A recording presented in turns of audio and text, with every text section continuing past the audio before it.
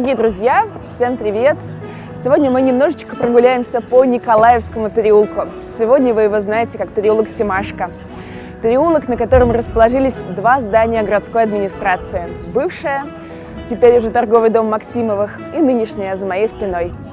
Переулок, по которому сто лет назад спешили в Николаевскую часовню, спешили на базар, и сегодня спешат на базар жители города. А на дворе весна, а значит снова пришло время погулять по любимому городу и узнать его истории и легенды.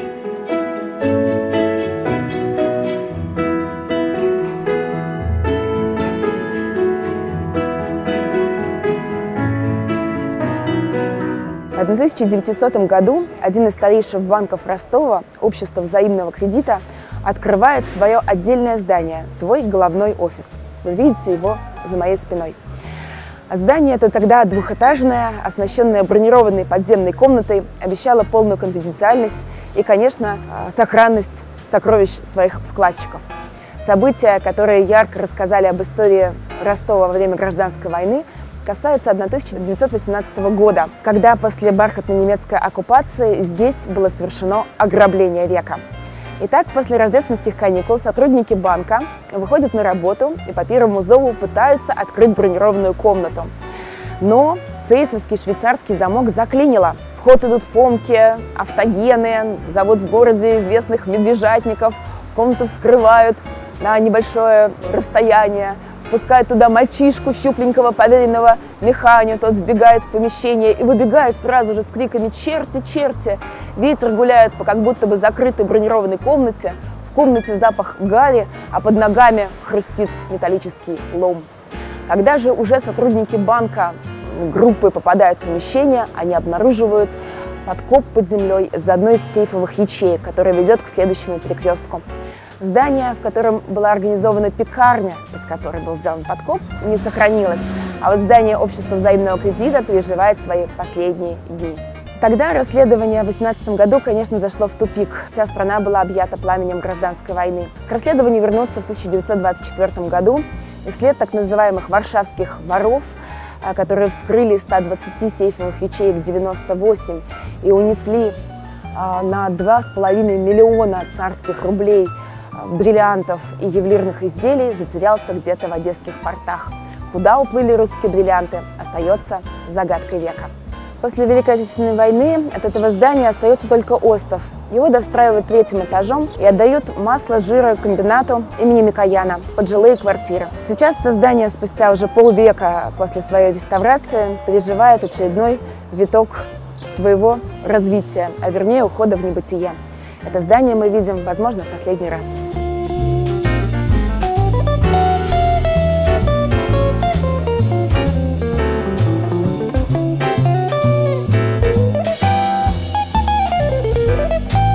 На рубеже 19-20 веков в Ростове-на-Дону работает 19 консульств. От Соединенных Штатов Америки до Бельгии, от Пруссии до Аргентины – Испанский консул Матиас Лаурадо принимает э, всех желающих в своем личном доме на Никольской улице. Он за моей спиной. Теперь с фасадом апельсинового цвета. Он также напоминает о жизни здесь во время гражданской войны профессора, чье имя было так актуально еще год назад, профессора вирусологии Дмитрия Иосифовича Ивановского. Приехав вместе с Варшавским университетом в 16 году в Ростов-на-Дону, он запомнится мировой науке своим прорывным открытием. Научная публикация 1981 года называлась следующим образом «О мозаичной болезни листьев табака». Фильтруя эти самые листья, зараженные мозаичной болезнью, вирусолог, тогда еще просто ботаник, приходит к выводу о том, что есть некая частица, обладающая свойствами жизни, но размером с большую молекулу. Он открывает этот самый вирус, описывает его в 1981 году. Тогда научная публикация не получила громкого подтверждения интереса у своих коллег, но имеет мировое значение для всей науки вирусологии. Итак, Дмитрий Иосифович Ивановский приезжает в 16 году с Варшавским университетом Ростов-на-Дону, возглавляет сначала кафедру биологии, но срок его жизни недолг здесь. Заболев смертельной болезнью, гепатитом, он умирает в этом доме. Сегодня дом тоже ждет своей нового витка развития, своего нового этапа восстановления. Будет ли открыт здесь музей? Посмотрим.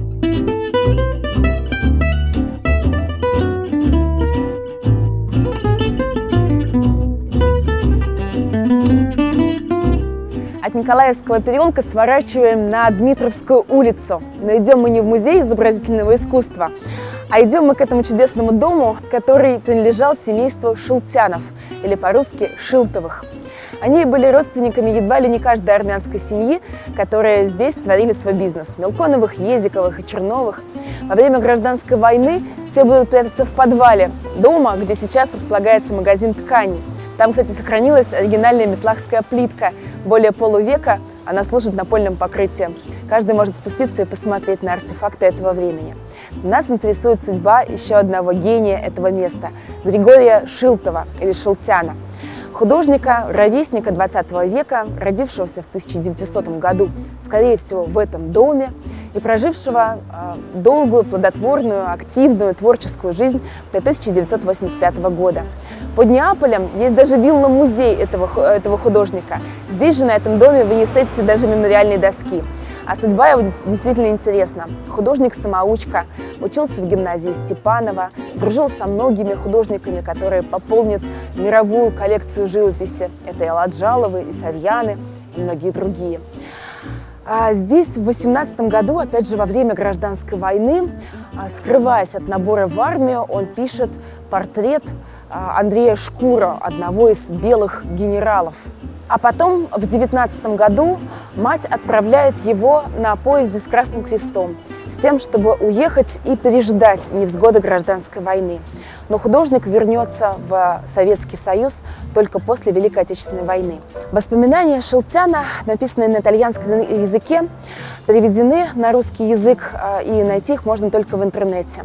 Там он очень ярко вспоминает о событиях своей молодости в Ростове-на-Дону рассказывает о том, как помнит э, беспорядки, бесчинства в 17, 18, 19 году здесь, помнит о расстрелах мирных граждан и помнит о своем отъезде из Ростова-на-Дону.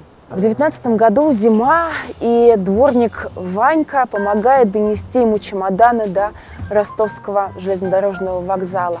Кусок в горло не лезет, фамильный ужин заканчивается ничем. Мать освещает дорогу керосиновым фонарем, и образ матери Григорий Шелтян, в будущем ставший художником неаполитанского короля, писавший огромные картины, которые хранят сейчас в музее Брюсселя, Берлина, Парижа. Этот образ своей матери он пронесет через века и напишет картину для Ичмиадзина, святыни Армении под Ереваном. Образ Богоматери – это образ матери Григория Шелтяна.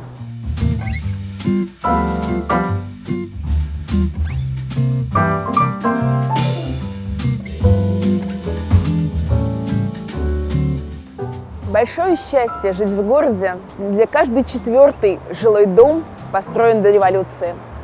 Переулок Николаевский, он же Семашка, настоящий кладезь архитектурных стилей и классных историй.